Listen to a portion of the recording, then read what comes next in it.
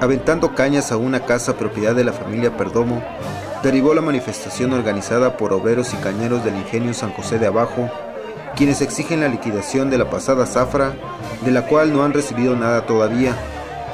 Fue alrededor de las 11.45 de la mañana cuando arribaron a la avenida 1 con calle 21 y comenzaron su marcha por las principales calles de Córdoba. En esta ocasión, decidieron ir hasta una vivienda propiedad de los dueños del ingenio, ubicada sobre la avenida 3 entre las calles 12 y 14. Fue cuando se vivieron los momentos más algidos de la manifestación, pues en un camión transportaban caña y algunos obreros la lanzaron al interior de la vivienda, así como en las puertas de esta.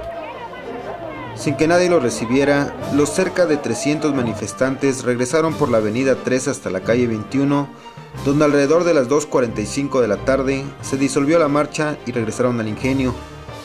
Esta es la segunda movilización que los cañeros y obreros realizan por las calles de Córdoba.